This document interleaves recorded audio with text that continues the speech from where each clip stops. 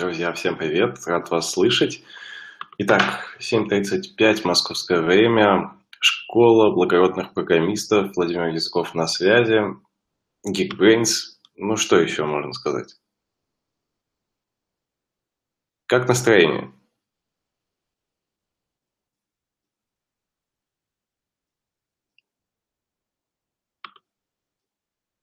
Поставьте плюсики, если меня неплохо слышно.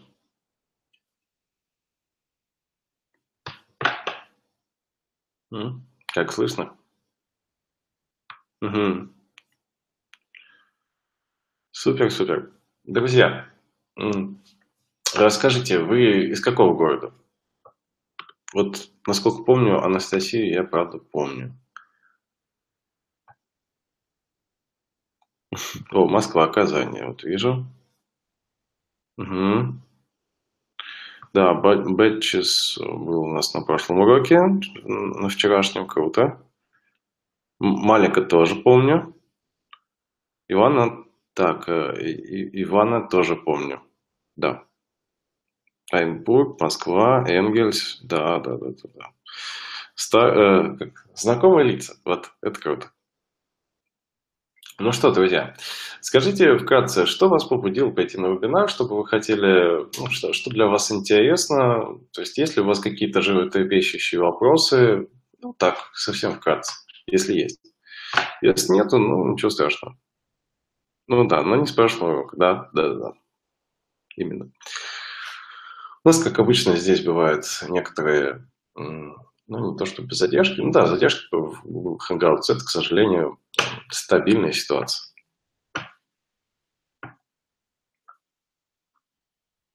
Угу. Нечетные пункты.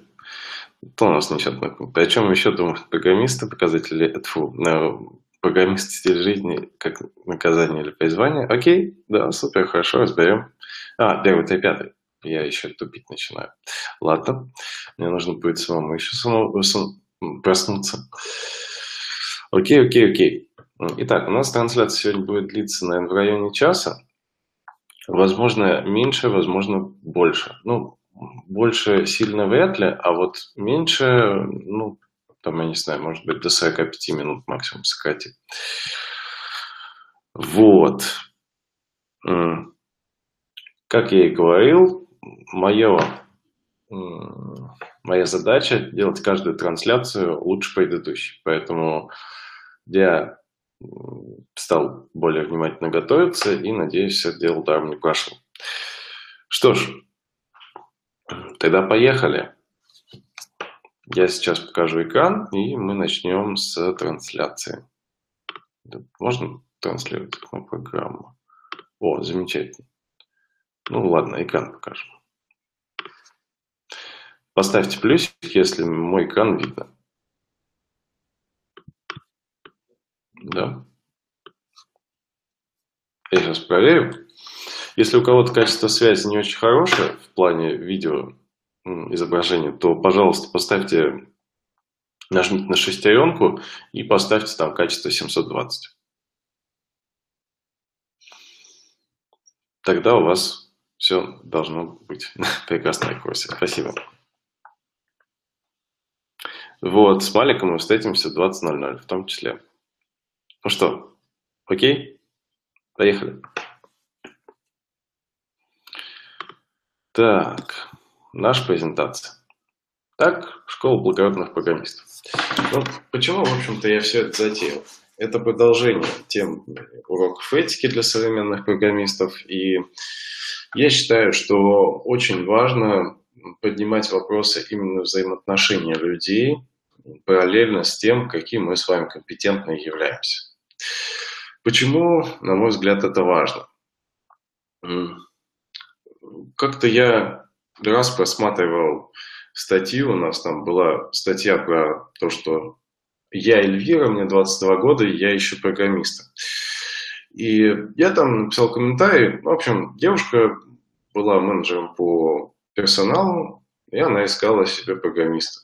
Но написано это было таким ужасным языком, на мой взгляд, что Э, очень большое количество людей в сообществе начали поднимать бунт. Типа, женщина, о чем ты вообще говоришь, что ты делаешь и так далее. Зачем портишь что-то там сообщество? Так вот, где-то 80% нашего времени уходит, на мой взгляд, да, на потенциальные, ну, на обычные задачи, такие как написание кода. Ну, именно то, на что нас нанимают. И 20% времени уходит на то, как мы общаемся с клиентами, как мы общаемся друг с другом, как мы общаемся в команде. И это бывает очень ценно и важно. Тема, на мой взгляд, такая глубокая, можно копать постоянно. И я ее буду рассматривать с нескольких сторон, поскольку за 10 лет опыта в сфере IT, ну, если кто меня не знает, можете в профиль зайти, посмотреть. Вот, я занимаюсь информационными технологиями, я программист, десятый год, и параллельно с какими-то проектами, которые делаю исключительно я, бывает, что времени не хватает, и я отдаю их другим специалистам. часто получается так, что не все так гладко, как хотелось. Соответственно, у меня есть опыт как разработчик, так и менеджер проектов, ну и, по сути, как клиент. Соответственно, я могу смотреть на, на ситуации, хоть и под, под своим определенным ракурсом, тем не менее, с двух сторон. И вот я буду рассказывать о том, каково это быть тяжело программистом и каково это тяжело быть клиентом. И вот где-то в середине как раз появляется, на мой взгляд, вот это рациональное зерно, где два человека друг с другом договариваются. А чем лучше, на мой взгляд, люди договариваются друг с другом, тем легче идет процесс работы. Итак, поехали. Да, то, что мы сегодня с вами обсудим. О чем молчат клиенты, о чем еще думают программисты. Ну, это такой, считайте, рекламный ход из фильмов «О чем говорят мужчины», «О чем еще говорят мужчины» и так далее. Ну, в данном случае программиста. Показатели взрослости программиста, программист стиль жизни как наказание или призвание, как научиться читать мысли клиента. В данном случае, друзья, это мои собственные мысли, мое собственное видение картины, поэтому если у вас будут какие-то свои мысли, я буду вам очень благодарен. Потому что все-таки смотреть э, только с одной стороны было бы не совсем правильно. Вот. Тем более, если у вас есть какой-то опыт в разработке, я буду вам благодарен, если вы поделитесь. Поехали. О чем молчат клиенты? Тайна дворцовых переворотов. На самом деле можно говорить о многих вещах. Я сосредоточу ваше внимание на двух. Итак, Первое касательно человека часов. Современный мир фриланса позволяет нам решать задачи по-разному. Есть трудозатраты, трудчасы. То есть э, считается, что у каждого программиста есть своя часовая ставка, которой он работает, он ее обозначает, там говорит, допустим, вот я стою там, 200 рублей в час, а я вот там 500 рублей в час и так далее. Для клиента это большая боль. Что такое человека час вообще? Ну, непонятно. То есть, допустим, нужно поставить счетчик посещений на сайт. И программист говорит, это будет стоить 2 часа, 2 человека часа. И непонятно на самом деле, что в эти часы входит. И это, правда, очень тяжелая штука, то есть э, не вопрос, человек готов платить, просто очень важно понимать, э, какой объем.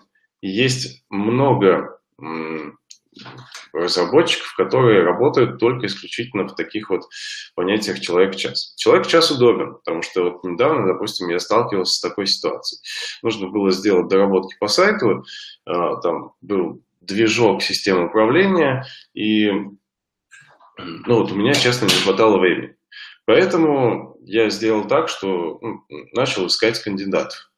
Среди кандидатов оказалась компания, которая сказала, окей, мы сделаем вам все за два человека часа.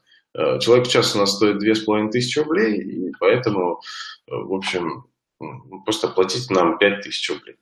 Так вот, в товарной накладной, ну, считайте, в чеке по оплате услуг, была указана не услуга, а оплата просто двух человек часов. А, что это?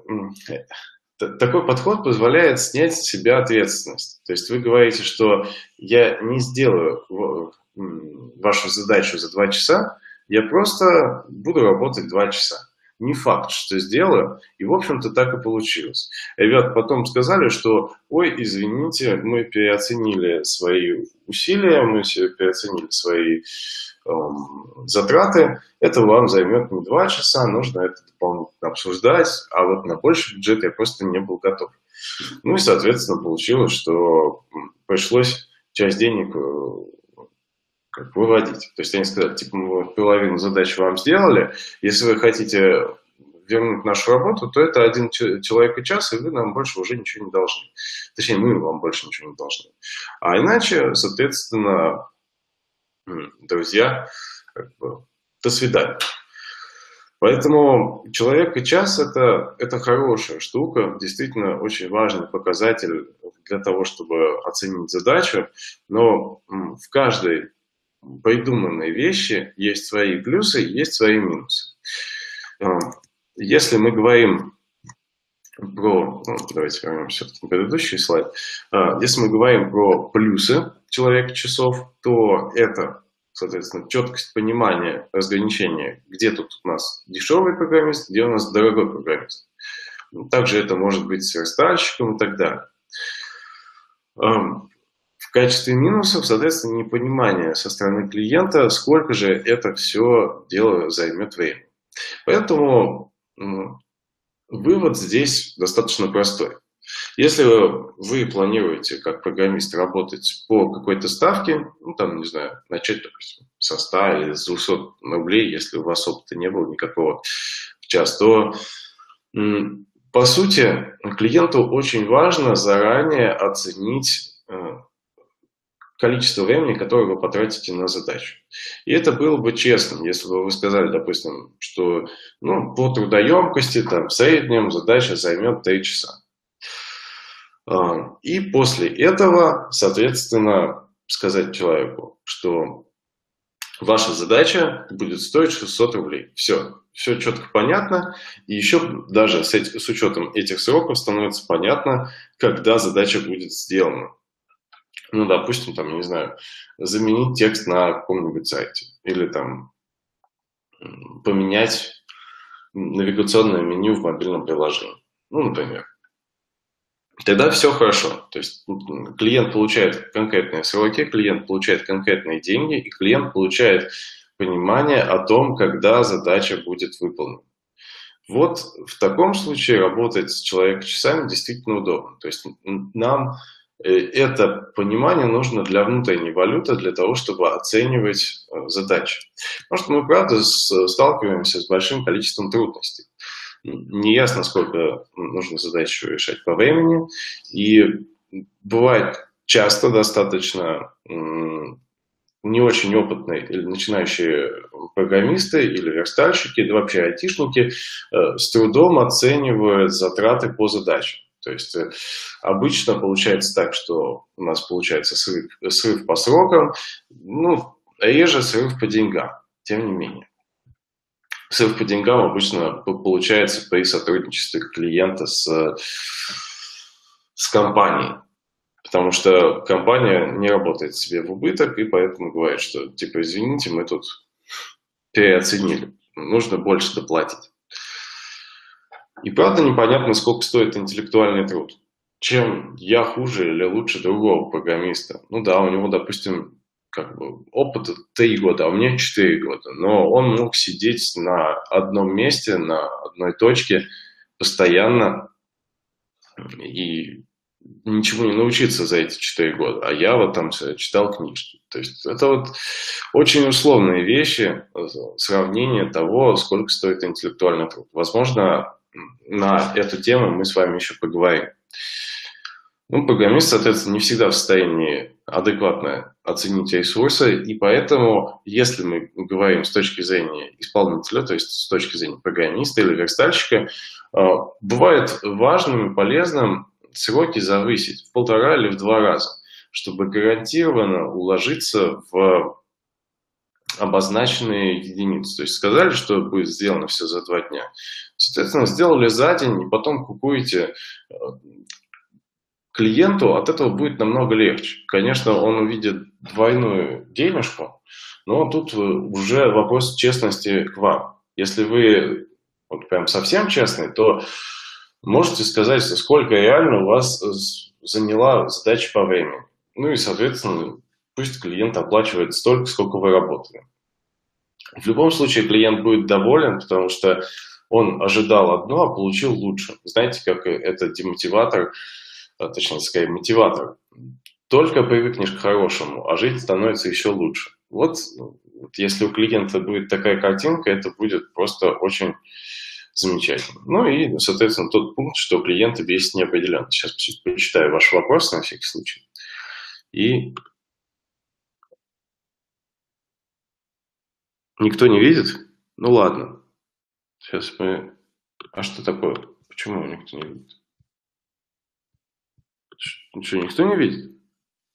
Да что ж такое-то? Вот. Сейчас. Презентация. Где мои слайды? Часто видно?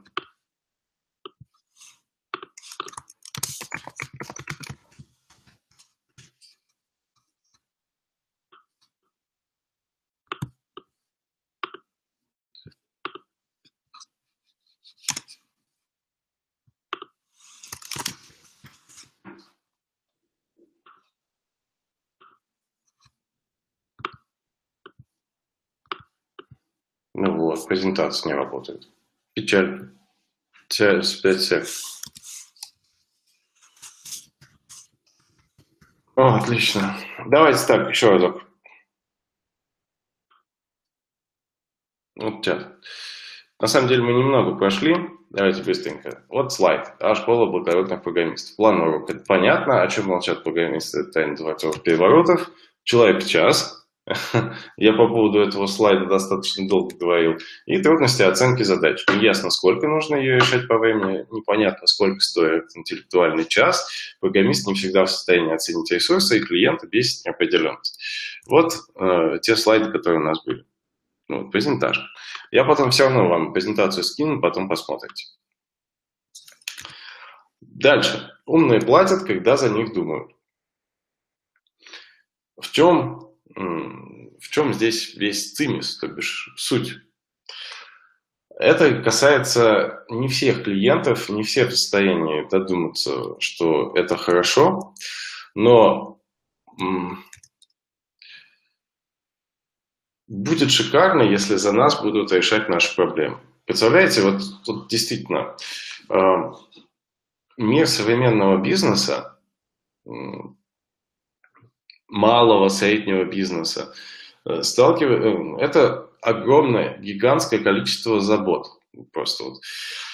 А, если хотите понять, как исполнитель, каково быть предпринимателем, хотя бы чуть-чуть, я рекомендую тогда, ну, это такой экстремальный проект, э, экстремальное предложение, тем не менее не все могут справиться.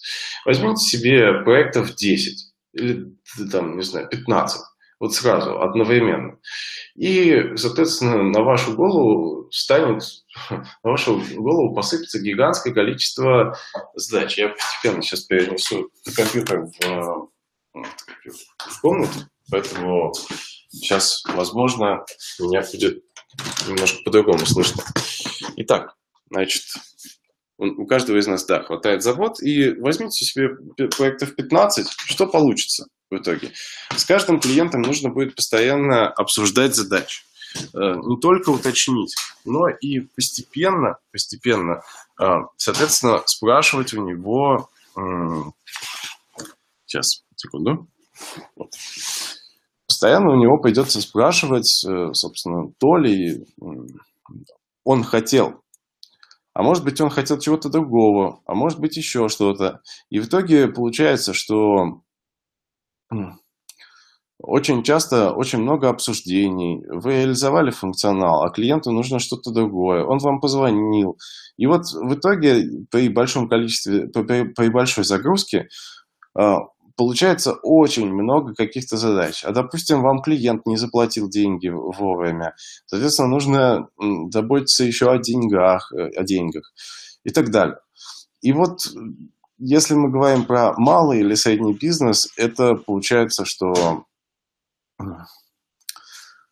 получается большая проблема. А, у них безумно хватает дел. Вот, настолько, что они были бы счастливы отдать бы вам просто в свое, свое владение а, сайты или там, я не знаю, мобильное приложение. Пожалуйста, дорабатывайте.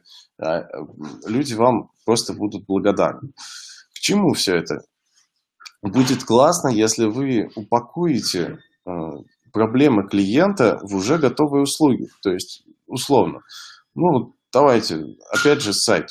Мне просто по, по поводу них легче говорить, потому что я все-таки а, львиную долю времени потратил в IT на разработку веб-проектов. Ну, допустим, нужно зарегистрировать хостинг, то есть то место, где будут у вас находиться сайты.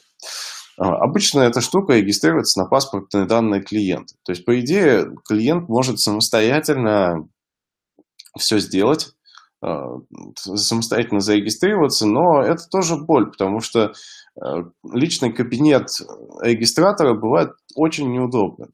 В принципе, вы можете всегда взять за клиента такую, ну, взять на себя обязанность зарегистрировать все, что нужно за клиента взять за, этого, за это, может быть, какую-то денежку, но при этом вы освобождаете человека от э, необходимости сталкиваться с трудностями. Да, конечно, там не каждый предоставит свои паспортные данные, но тем не менее, когда мы думаем за человека и понимаем, э, что ему может пригодиться, и предлагаем это уже в виде услуги, это будет очень здорово.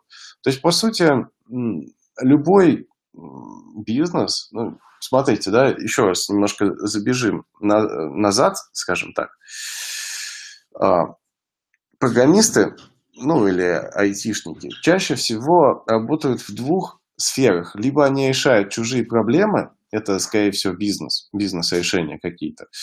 Либо эти люди занимаются сферой развлечений. То есть это рулетки, это там, не знаю, игры всевозможные. Так вот, я вот буду говорить больше за бизнес, потому что в этой сфере варюсь ну, вот, практически с самого начала. У меня не было толком проектов на реализацию компьютерных игр или чего-то похожего. Ну вот, поэтому во многих ситуациях мы можем решить проблему за клиента, додумать за него, предложить какое-то решение. В общем, ситуаций бывает, правда, очень много. И это не только повышает вашу ценность как специалиста, то есть вы, получается, а, упрощаете жизнь человеку, но и, соответственно, позволяет облегчить э, жизнь и вам тоже. Потому что, э, ну, то есть вы как специалист растете, и в глазах клиента просто будете незаменимым человеком. Посмотрим пока комментарии, чего у нас тут. Вот, хорошо, презентация видна. О чем еще думает программист? Легкое вскрытие черепной коробки. Программистам быть выгодно. И я сейчас это говорю вот с полной честностью. То есть это и верстальщикам быть выгодно, и программистам быть выгодно. А, причем вот в таком далеко не всегда даже хорошем контексте. Потому что айтишников, не все понимают, чем вообще занимаются айтишники. Что они там делают, наверное, это какая-то сложная задача и так далее. Плюсы программиста. Вот правда наизнанку. Прям вот совсем-совсем честно. Мало кто понимает реальный масштаб задачи, соответственно, можно завышать цены и сроки. Из-за того, что, давайте смотреть сначала последний пункт, из-за того, что современный рынок IT, ну вот действительно программистов много, как ни странно. А, на Geekbrains э, у нас обучается все больше и больше программистов. Только до сих пор на фрилансе все так же трудно встретить человека, который в состоянии решить э, поставленную задачу. Наверное, потому что большая часть хороших кадров, она уже находится в штате.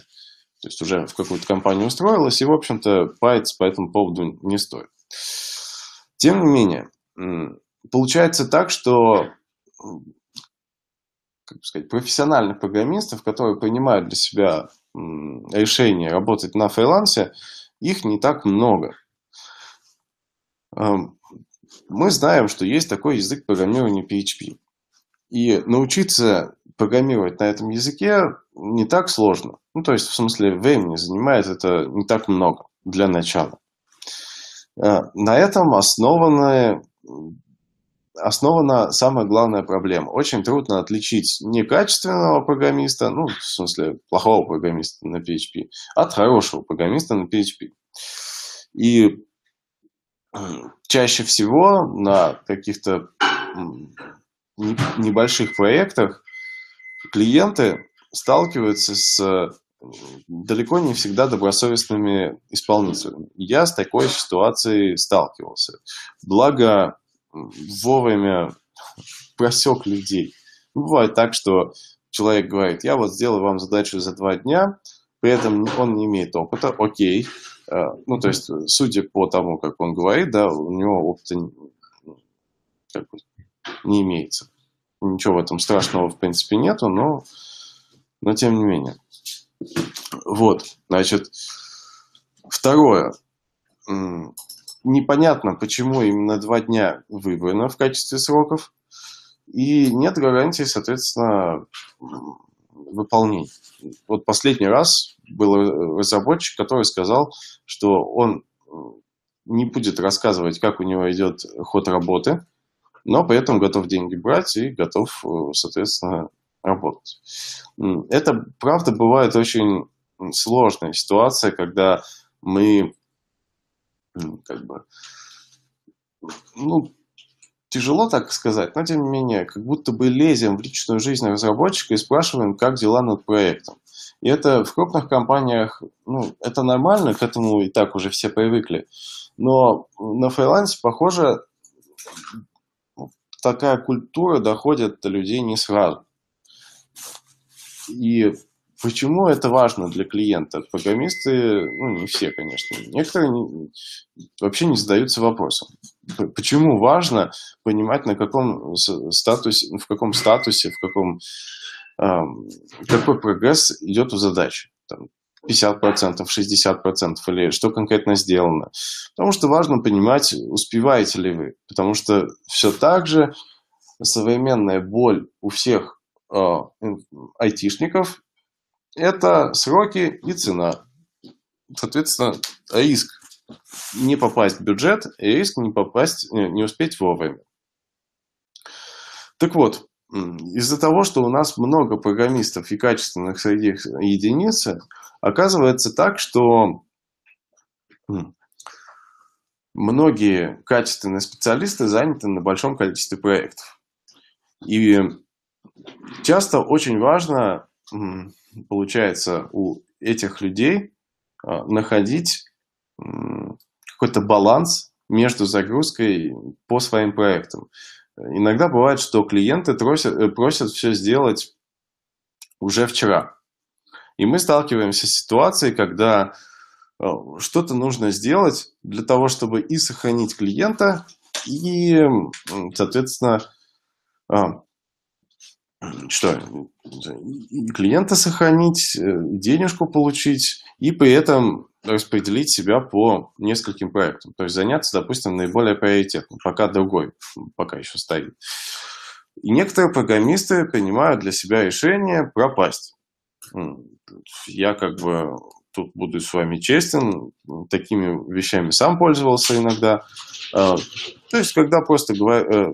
просто не всегда отвечаем на вопросы клиентов, ну или отвечаем с запозданием, а потом можно в качестве, там, не знаю, в качестве отмазки сказать, вот там, не знаю, интернет перестал работать, или там, я не знаю, что, э, допустим, сломался компьютер, отдал его в ремонт, э, что еще? Ну, то есть, вот сейчас можно говорить по поводу этой подноготной максимально долго и честно. Или что еще? Там, не знаю, срочно по семейным вопросам уехал. Или, допустим, в общем, можно придумать столько отмазок на самом деле. Прям можете составить себе список и потом использовать в будущем. На самом деле не советую. Все-таки честность к самим себе – это важная штука.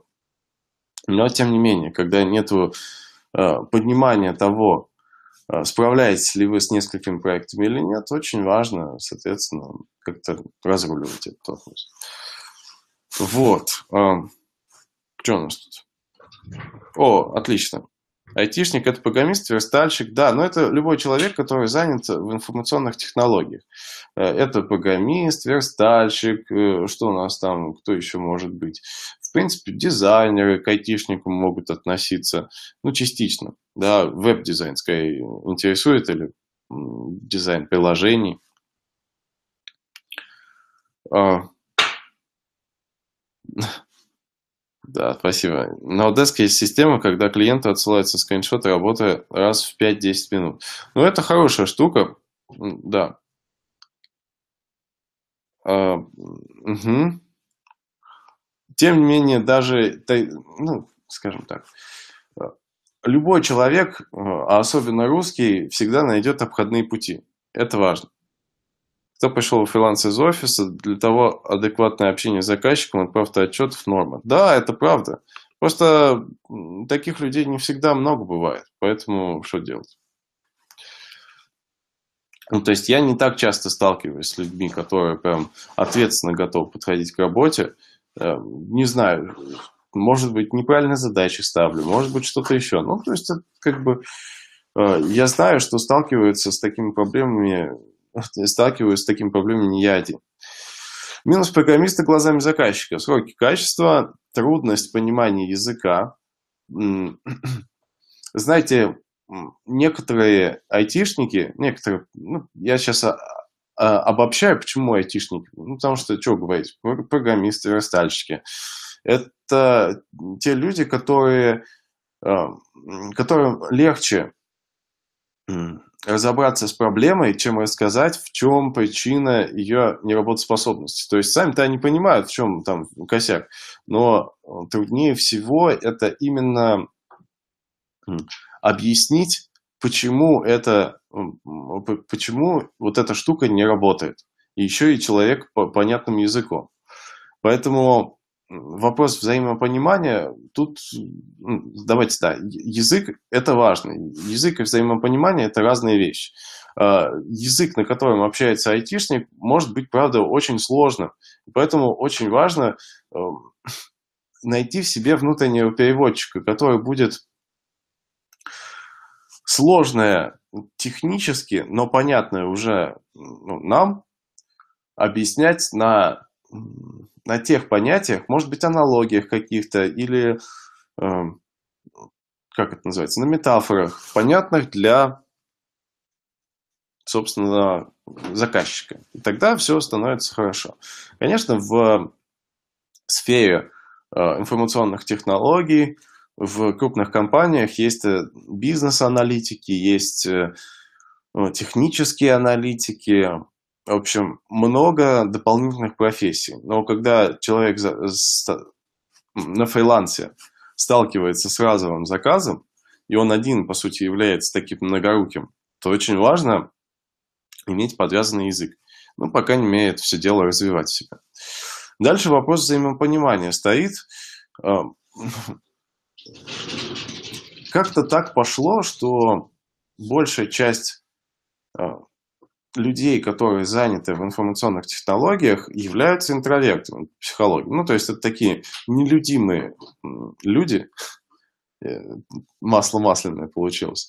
Короче, ну не знаю, может не замкнутые, но люди, которые ориентируются на свои эмоции больше, чем на эмоции окружающих. Соответственно, легче могут о себе много всего рассказать, чем а, научиться общему языку, какому-то пониманию э, между собой и клиентом. И с этим, стал, с этим связана ряд проблем. Соответственно, э, очень немного есть людей, айтишников, которые любят клиентов, которые внимательно и заботливо относятся к всем таким странностям у людей. Все-таки те люди, которые готовы платить деньги, э, чаще всего, ну, я не говорю сейчас про там, каких-то мальчиков-мажоров, э, чаще всего своим трудом и потом дошли до понимания того, как эти деньги вообще доставать, каким образом и что, что нужно сделать. И они бывают очень странные и сложные, тем не менее, я верю, что практически каждому человеку возможно найти общий подход. Я говорю практически каждому, потому что бывают ситуации, когда действительно с клиентом трудно найти общий язык. Ну и тут все так же работает фраза, знаете, как в психологии важно найти собственного психолога, так и, наверное, в информационных технологиях важно найти собственного программиста. И по причине того, опять же, очередная проблема минуса программиста с точки зрения заказчика, его трудно заменить. Потому что, опять же, возвращаемся к предыдущему пункту, самый последний, что хороших разработчиков на самом деле не так много. Я верю, я бы хотел на самом деле поменять картинку, что хорошие разработчики, их просто безумное количество. Просто важно найти э, место, в котором они водятся. И я надеюсь, что я с этой задачей справлюсь. Я таки найду для себя те критерии, с помощью которых можно будет поменять вот эту картину мира, что разработчиков на самом деле хороших очень много. Вот. Да, переводить на человеческий. Всегда под рукой должна быть Википедия или друг переводчик. Например, да, да, да. Э, как вариант. Либо вручную. Тут, кстати, немного слайдов осталось. А, дальше. Показатели взрослости программиста. Это то, о чем мы с вами говорили. А, точно, это тот пункт, точнее, а, который у нас следующий по презентации. Это мое, мое личное мнение. Первое – это, соответственно, ответственность. Ответственность люди понимают немножко иначе. Есть обязательность, есть ответственность. Обязательность – это когда ты а, говоришь, что сделаешь все к 7.30, а, а, ну и делаешь все к 7.30. Или, допустим, к, там, я не знаю, к, к 8.30 или там, ну и, и так далее. Ну, по-всякому бывает. Значит, но если ты не сдержал свое слово, то это вот как раз обязательность. То есть ты пообещал, но не справился. Это обязательность. Ответственность – это когда ты сделал что-то. Если это сделано не так, то ты отвечаешь за те последствия, которые ты сделал. То есть получается, что если есть какая-то проблема, то ты ее исправляешь. Например, это твоя ответственность. Э, там, не знаю, я вот знаю, это... Сейчас. В 2012 году я работал последний раз в офисе. И у нас до меня был программист, который каждый раз заканчивал работу ровно в 6 вечера. Соответственно, вне зависимости от того, работал сайт, над которым он занимался, или не работал, он просто уходил в 6 вечера. И были казу, э, казусы, были курьезные случаи, когда он в пятницу вечером ломал сайт, и после этого э, в 6 часов вечера уходил. Сайт, собственно, не работал в течение выходных, но его, честно, этот вопрос не волновал. И ну, если мы говорим про ответственных людей, то эта ситуация, когда допустим, человек сделал, сделал ошибку в коде, допустим, и понимает, что от того, что он сделал, зависит, в общем-то, работа клиента. И это понимание, эм, как бы сказать, если оно четкое и явное, что, понимаете, нам деньги платят не просто так, ну, чтобы было понимание, да. Эм, задача бывает не всегда актуальная. В том плане, что можно там пропасть на месяц, на две недели, на, на, на полгода, а потом уже кто-нибудь уже, во-первых, за нас решил задачу, а возможно, и выполнять эту задачу не нужно. Бывает такой, такая категория клиентов, которым нужно все сделать срочно. А если срочно не сделал, то, возможно, уже будет и не нужно. Ну, условно, там, клиент сам разберется ну, и так далее. Поэтому, если мы говорим про ответственность, очень важно понимать, собственно, если вы накосячили, я буду говорить нормальными словами, да, э, если есть какой-то косяк, то его важно исправить. Но из-за проблем, которые мы делаем в коде, или там ошибки какие-то в верстке делают люди, э, возникает и чуть больше, большее осложнение в в общении с клиентом. Поэтому важно, на мой взгляд, не только исправить проблему, но и дать что-то, что отношение бы улучшило. Соответственно, там, я не знаю, предложить какую-нибудь доработку небольшую за то, что там, сайт не работал длительное время по нашим проблемам и так далее. Следующий показатель взрослости – это умение понимать чужие интересы. То есть зачем вообще нужна задача? Умение понять, ну, то есть, вот, условно говоря, нужен сайт. Окей. Зачем нужен сайт? Вот понимание того, что клиент хочет получить. Потому что всегда можно любое решение сделать. Ну, то есть, вот есть техническое задание. Мы взяли по техническому заданию выполнили проект, ну, не знаю, разработка сайта. А в итоге оказалось, что клиенту нужно было другое. И, соответственно, очень классно, если мы будем понимать, что хочет клиент. Это вопрос длительных обсуждений, длительных бесед. Э, соответственно, это желание вникнуть в бизнес. А, кстати, бывает очень классно действительно смотреть те, то, чем э, занимается клиент. Вот, допустим, у меня один из последних проектов. Ребята в Подмосковье сделали маленький заводик по производству капсул для кофемашин. И, во-первых, за самим процессом производства очень классно наблюдать. Просто можно приехать на экскурсию, они все расскажут, просто ну, нереально интересно. Ну и, собственно, сам бизнес интересный. Дальше. Это клиентоориентированность. Если мы говорим про взрослость, возлюби клиента своего как самого себя. Действительно очень важно внимательно относиться к людям. Ну, в целом, это может идти еще и от любви к самому себе. То есть, если мы себя любим, то и других э, тоже, возможно, любим.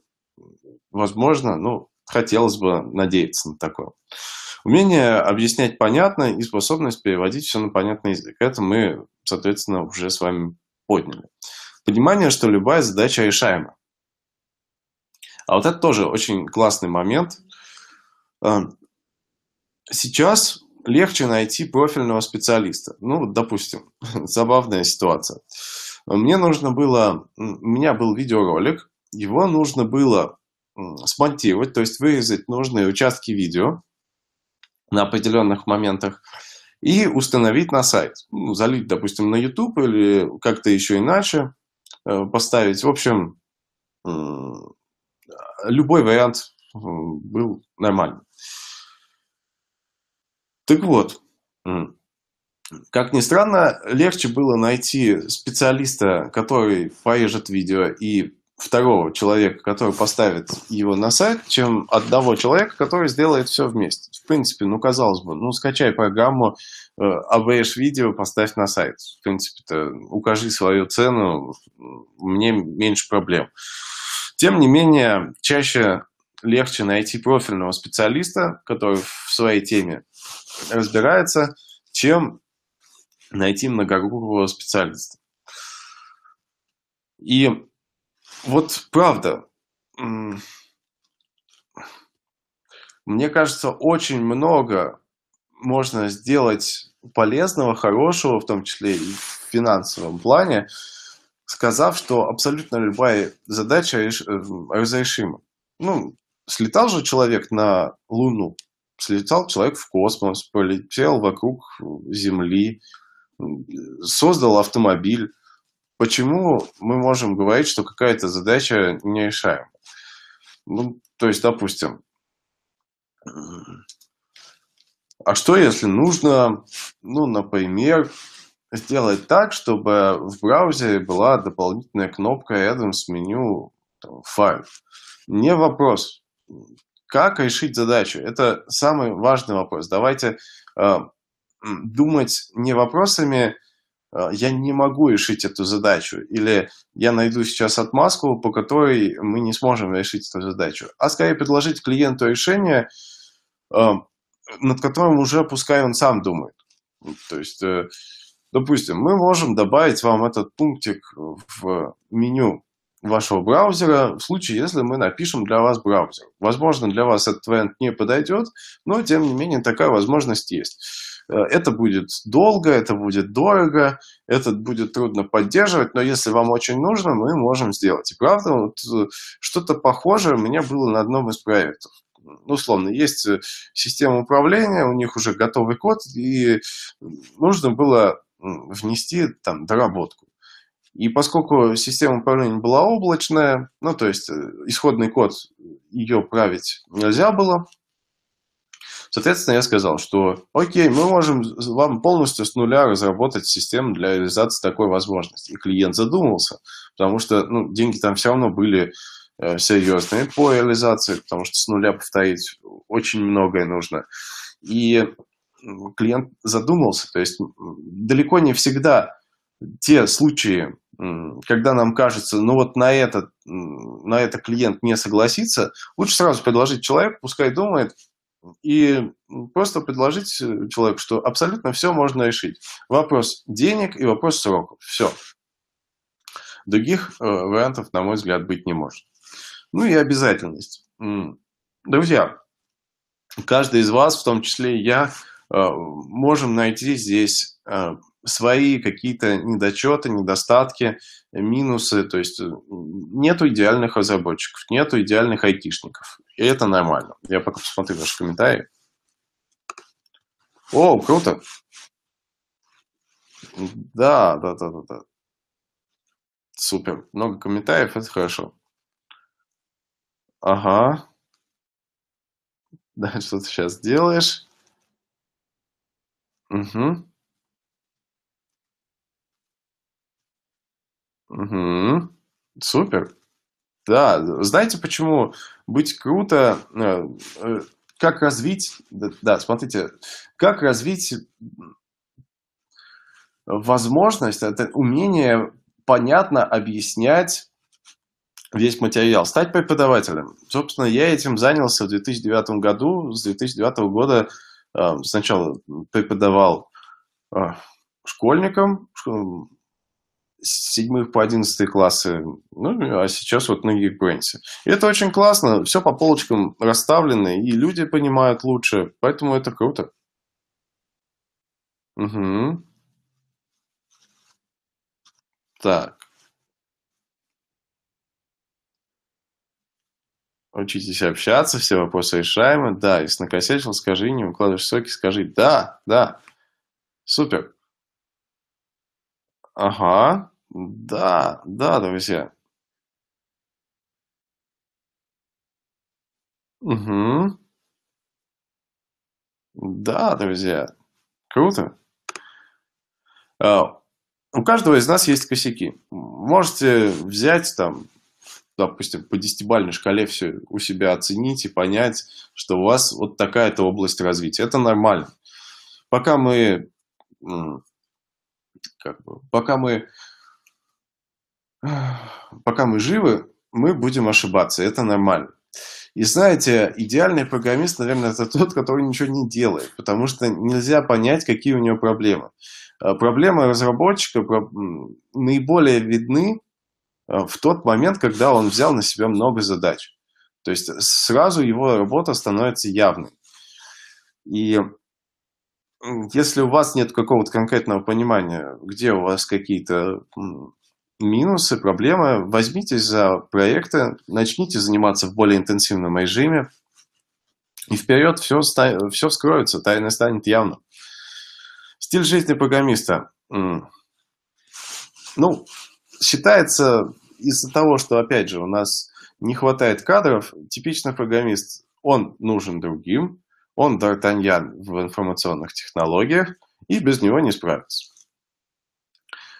И я постараюсь приложить максимальное количество усилий с помощью вебинаров, с помощью э, там, уроков, потому что человеческое не отменить, к тому, чтобы поменять подход к современным программистам. А, знаете, труднее всего пока сейчас. Я не хочу обобщать категории людей, Просто чем старше человек становится, тем больше у него появляется связей, тем больше у него появляется опыта, тем больше у него появляется опыта в, общении с людьми. И далеко не всегда этот опыт получается положительным для будущих клиентов. Почему?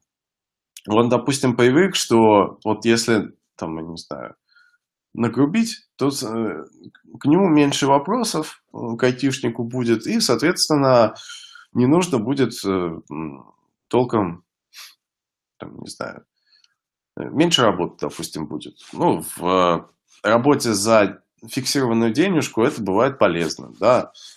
Покричал на людей, и они больше не пристают к тебе. Очень хорошо.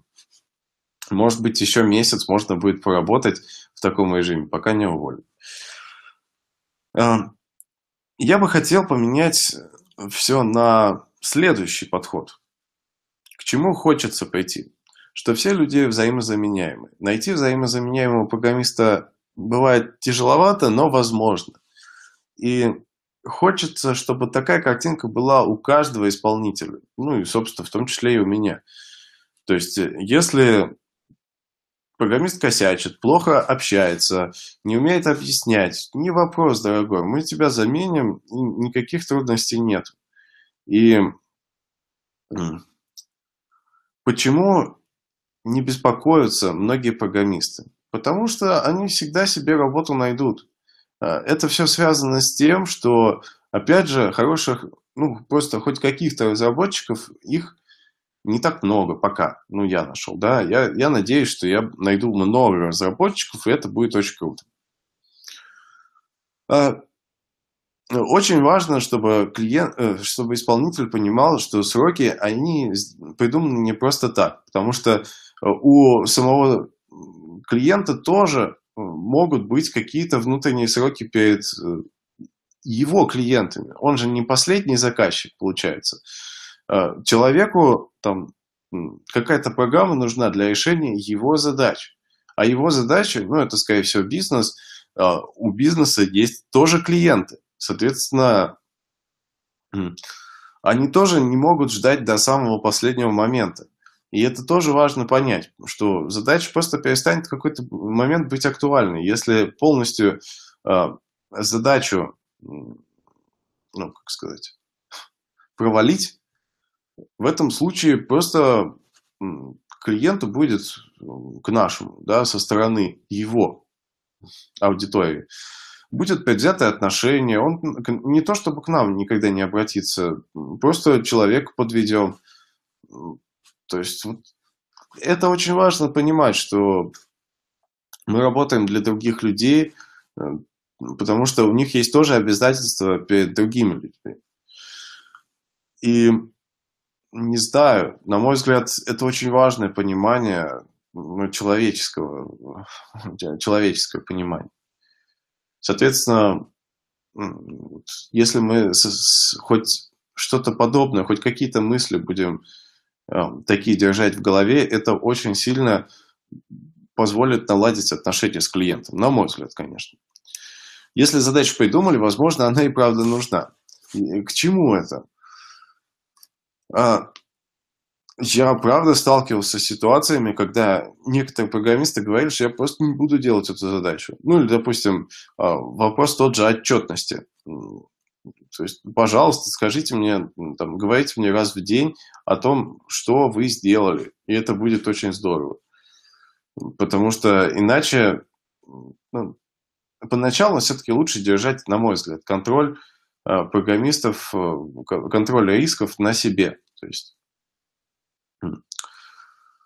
человек пообещал, что сделает задачу, там, не знаю, сайт за два месяца. Хорошо. Это не значит, что мы у него спросим все через два месяца. Это значит, что будем иметь контрольные точки для того, чтобы понимать, укладывается ли он в срок или нет, чтобы тогда предпринять какие-то действия, потому что через два месяца будет поздно. Вот, поэтому это бывает, правда, очень полезно, ценно и необходимо. Ну вот, и касательно научиться читать мысли за клиента. Для этого нам потребуется очень многое уточнять, спрашивать, переспрашивать. Э, нам нужно максимально погрузиться в то, чем занимается клиент. Возможно, пойти на производство, если это цех какой-то. Э, возможно, попробовать оказаться э, с одним пользователем этой услуги идеальный момент, идеальный случай – это когда вы делаете то, чем сами пользуетесь. Ну, условно, у вас есть какой-нибудь портал, ну, у меня был случай, да, я делал портал для психологов, и там любил в свое время писать статьи. Я написал порядка 200, что ли, статей, 100, не помню ну, статьи, может, и не сказать, что научные были, но тем не менее.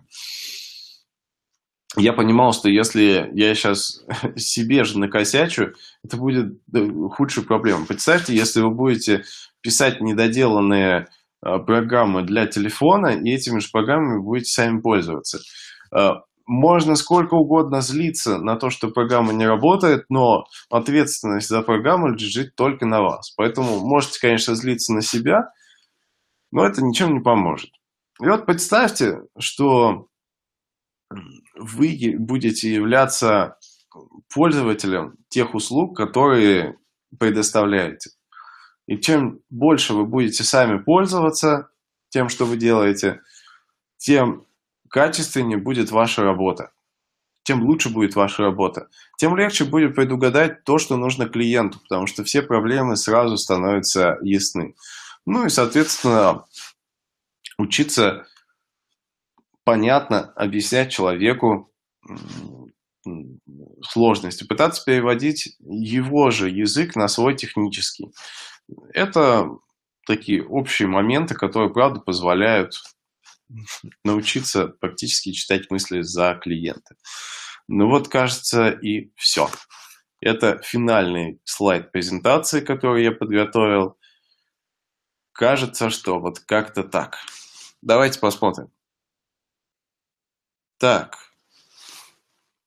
Рабочие часы, отведенные на работу. Слушайте, у меня получается так, что я просыпаюсь, и я работаю. Я заснул, и работа закончилась. Поэтому, наверное, у меня пока все рабочие часы, которые есть. Но у меня пока так. Или, наверное, вы, наверное, кому-то другому, да? Так, что у нас тут? Так, сейчас посмотрим.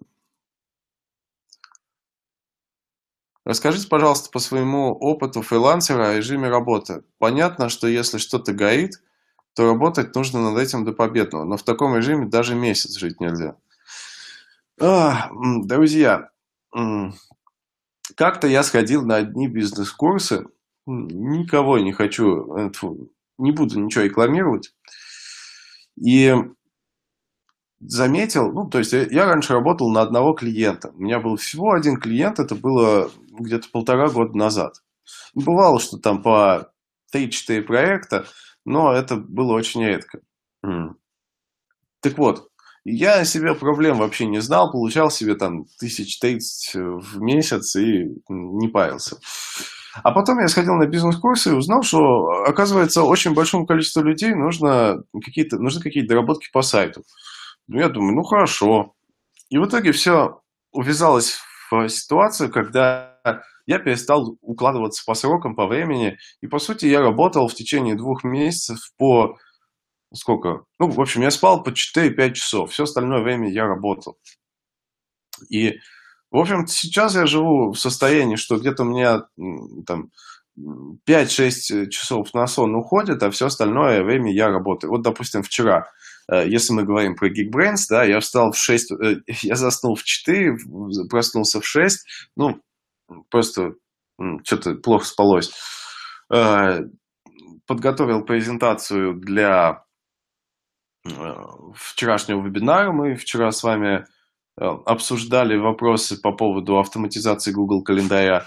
После этого у меня была группа в 10 утра, два часа провел с ней, немножко задержался, сходил в магазин. В час очередная группа до трех, э, потом работа. Ну и, в общем, я заснул в 12, уже, получается, вот закончилась работа. То есть график, на самом деле, каждый выбирает себе самостоятельно. За ПК, ну, получается, больше 13 часов, да. Ну, я делаю перерывы каждый час по 10 минут, э, ну, минимум, да. Есть там перерыв на обед и так далее. Это вот касательно своего опыта работы. Так что нифига подобного в таком режиме можно достаточно долгое время жить. Я знаю, там, у меня бабушка, допустим, она работала э, заведующей э, отделения терапевтического, по-моему, для детей. Ну, в общем, она врач. И большую часть э, там, лет 15-20 она, там, не знаю, спала по 5-6 часов, и это было нормально. Сейчас вот на пенсии отсыпается и нормально. Э, делайте какую-нибудь гимнастику. Я это, на айкидо хожу. Ну, то есть, не каждый день, конечно, сейчас. Сейчас из-за того, что у меня, получается, занятия идут... Э, э, часто у меня группы идут по вечерам, у меня не всегда получается возможность э, заниматься, трени... ходить на тренировки. Или по утрам, допустим, ходить. Да? потому что хочется высыпаться. Но все так же я верю в то, что можно свой график выстроить нормально. Чаще ходить на тренировки. Вот. Так что вот как-то так. В жизни еще есть семья, да, семья есть, хобби. Ну, хобби я, в общем, музыку люблю, но, к сожалению, мне не всегда хватает времени на то, чтобы играть на гитаре. Вот дома две гитары есть, две, две гитары. Э, и собственно, айкидо, вот черный пояс по айкидо.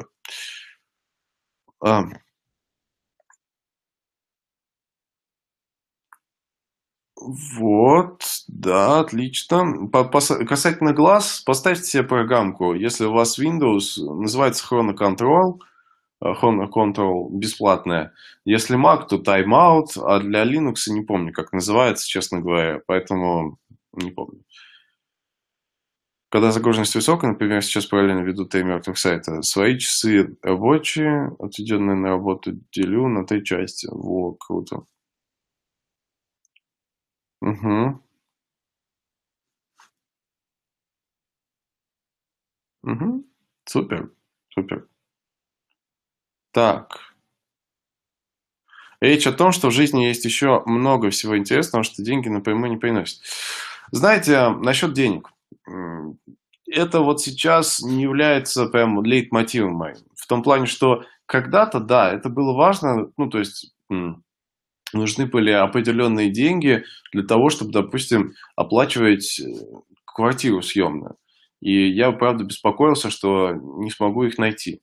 Э, сейчас этот вопрос не стоит, и в целом можно заняться душой. Поэтому э, сейчас я занимаюсь большим количеством вопросов, потому что меня просто поет от того, что я помогаю людям. Ну, вот как-то так. Да и, в общем-то, честно говоря, я не умею нормально отдыхать. Ну, в смысле, мне очень скучно, когда я там прихожу, там, не знаю, ну, кино посмотреть, ну, прикольно, конечно, но, честно говоря, чаще всего, когда я заним... Э, прихожу на какие-то развлечения, у меня складывается впечатление о пустую потраченном времени. Ну, там, с человеком побыть, погулять вместе, это круто. Вот. Ну, в общем, не часто я нахожу для себя какие-то хорошие развлечения. Поэтому вот как-то так. Почему-то очень многие программеры боевыми искусствами занимаются. Мне кажется, что не только программисты. Все-таки э, я считаю, что для айтишника, для человека любого, который сидит очень много в кресле, ну или просто сидит на, на стуле, очень важно, ну, важна подвижность. Вот. Так что вот как-то так.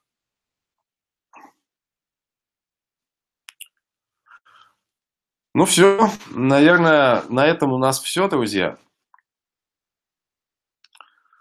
А, наша презентация закончилась. А, если вы хотите продолжение, кстати, сколько у нас народу? 12 человек.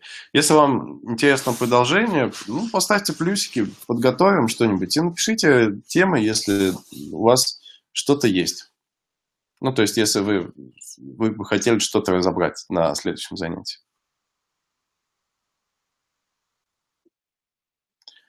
Вот касательно времени с 9 до 18, вот у меня сейчас есть проект с 11 до 3, и он меня больше всего пугает. А, в том плане, что у меня нет возможности в дневное время выехать навстречу. Так что вот. Это бывает тяжело. Фиксированные часы не очень удобно. Легче работать по, по проекту. То есть э, есть какая-то задача, решаем задачу, окей. Ну окей. Ну все тогда, я побежал. Все-таки я рад, что эта трансляция прошла лучше, чем предыдущая. У нас были уроки этики для современных программистов, и там был такой набор, поток мыслей. Сейчас я более-менее все структурировал. Ссылочку на презентацию я вам пришлю. Тогда все. Всем пока. Всем хорошего дня и хорошей рабочей недели. Пока-пока.